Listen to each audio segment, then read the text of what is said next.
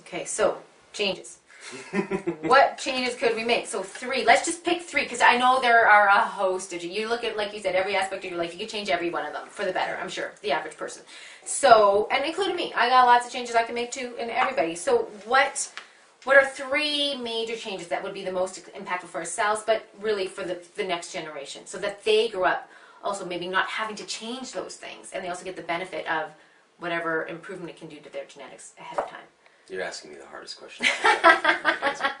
so let me pick three, and because throughout your course I know that um, I'll leave out one that I think would be really important, which is this assessing our birth, and this, so I'm talking about it anyway, but Yeah, assessing okay, our birth yeah, trauma yeah. and dealing with these things. Let's assume that we we're doing that. Okay. Three things that you can do right now. Um, you can really begin to examine the foods that you put in your mouth. And you can go on this really fun journey that takes you from wherever you're at towards better food. Even if you think you're at the best food, I can tell you there's further you can go. Because the best food in the world is actually wild foods. That's what we're genetically adapted to. We've only been farming for 10,000 years. Mm-hmm. And most of us have only been farming a couple thousand, domesticating species, changing them. Prior to that, for 200,000 years of evolution, everything we ate came from wild ecosystems. That's the best food. That's why that food's available when you go to the highest end restaurants. That's why they send foragers out to bring fiddleheads and morels back. Because black trumpets and things like that, that's the best food. That's the most nutritious food. Now, a lot of us, that's a long ways out. And that's maybe not accessible for us. And maybe we're on the full, you know, Dorito chip diet now. So what do we do? We move towards organic food.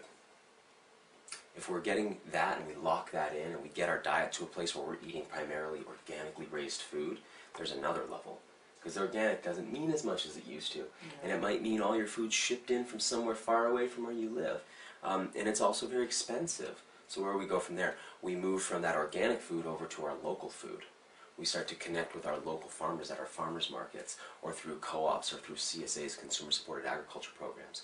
And we find local producers of foods and we get local, organic, and now we add in this piece, heirloom genetics of the food we eat. If we lock that in, maybe we want to move towards growing some of our own food or rearing some of our own animals. I think even beyond that would be getting into your own hunting and fishing and wild foraging and combining that with some horticulture, some gardening until you've got a diet where not only are you in control of what the soil environment's like or what the what the uh, things that you're growing are eating, whether animal or plant, but actually what genetic strains are you eating? Because there's this interesting question that I think I like to pose to people. Uh, do the genetics of what you eat matter as much as vitamins, minerals, carbohydrates? Do genetics matter? Most people don't think so until you offer them genetically modified food, which they don't want to eat because of its DNA. Well, if DNA matters in food, I think the heirloom varieties and the wild varieties are so much better than these commercially developed varieties. So first thing you can do, wherever you're at, know that there's this spectrum from the worst food possible to the best food possible, and always be just making movements towards that. And when you get confused about what to do, when new information comes, oh, don't eat this, it's bad for you, and then you hear somebody else say, no, no, it's good for you, and you're weighing it back and forth. What should I choose? Should I be a vegetarian? Should I eat animal foods? Should I, you know, do carbohydrates or fats? Whenever you get confused, look at the diets of indigenous people and traditional cultures and model off of it. That's the last time and space and place where we knew what worked. New stuff, not going to work. If you want to know more about that, I'd look at the Weston Price Foundation. Take a look at the book Nutrition and Physical Degeneration. It'll give you a nice broad picture of what natural diets look like. Second thing you can do, change the water you're drinking. I think this is so important. I joke with people a lot about how we're a we're a 70% say water-based organism. We're like a fish tank, and our cells are like the fish. And if you think about a fish tank, if anyone's ever had one, you know what's more important, the quality of the fish flake or the quality of the water? Mm. It's pretty obvious to most of us. You could have the highest end, the very best fish flake available, fully organic, right? Freeze dried, perfect, the best stuff. And if you've got crappy water, the fish will be sick. If you had the best water imaginable, we go to Siberia to Lake Baikal and we take that amazing spring-fed lake water, we rear the fish in there, we could probably get away with a lower quality fish flake, and the fish would stay healthy. That's just in, mm. that's obvious. It's intuitive. Mm-hmm. Water is a lot more important quality of water, I think, than even food. Now I've created a website, findaspring.com, and that's a website people can go to to locate springs where they live. And you can actually drive your car up to the spring and get out with your bottle and get clean, fresh water from the mm-hmm. earth and bring it home and drink it.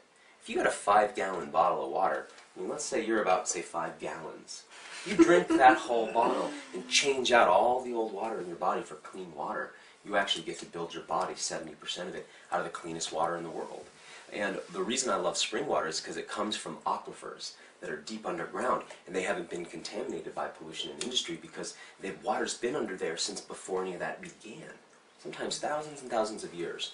Now, if you don't have access to a spring or that feels like, whoa, that's a little far out, I'm not going there yet.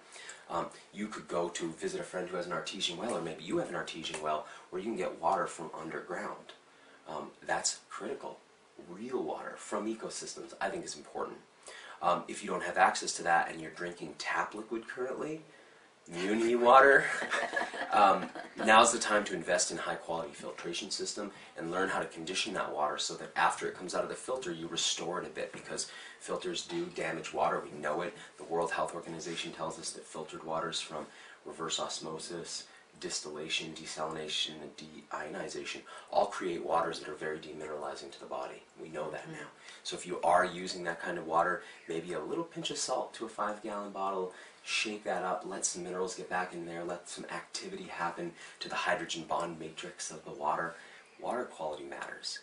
Just like with wild food, we said you've got your sort of um, your Doritos on this end, you've got your wild food on this end. Move in this direction, however long that takes you, comfortably at a sustainable pace. This is your Muni water laden with pee and toilet paper and tampons. That's true. Those are the major contaminants in city water um, because people's toilet water is recycled as drinking water. Uh, pharmaceuticals that were in that person's body show up in there. Birth control, another vector by which we're seeing effects on our reproduction.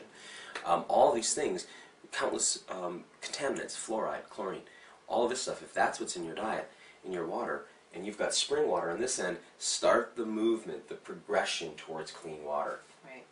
The last thing I want to say is get off of science diet. Genetically modified food, pesticide sprayed food, uh, synthetically fertilized food. Get off of pharmaceuticals. These artificially uh, synthesized and or extracted plant molecules that have been taken out of their whole matrix.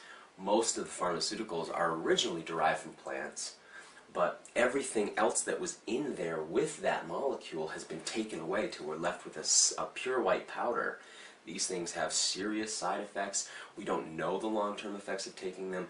Your doctor doesn't know the effects of the pharmaceuticals he issues you. He can't. Yeah. He doesn't know, and he doesn't know how they'll interact with everything else you're doing. This is why so many people are sick from their pharmaceuticals. This is why doctors are killing more people than nearly anything else. Um, get off of pharmaceuticals, get off of injections, get off of vaccines, get off all this stuff. Learn to use food and vitalism and herbalism and or other alternative methods and modes to correct things in your body. Know that your doctor doesn't know how to cure anything. They've never cured anything. They've never cured any disease. There's no disease they've cured. They haven't cured colds or flus. They haven't cured all those things with vaccines they claim to. We now know that most of those diseases are not in our culture now because of sanitary toilet conditions. It's not vaccine. They haven't cured anything. All they do is drug people, cut people, burn people, and irradiate people. Those are their four methods, and they don't work. And they lead to more problems. So shun your doctor get on good quality food and good quality water, and you'll be amazed at the changes that happen in your body over time.